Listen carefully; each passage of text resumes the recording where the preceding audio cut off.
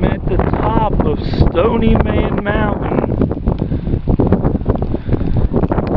And it was just raining fiercely. I think the worst is over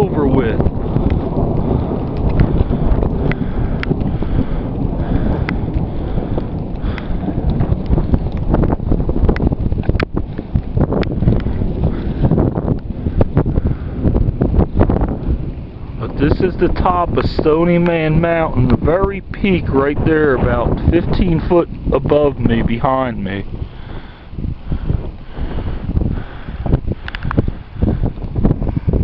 Woo!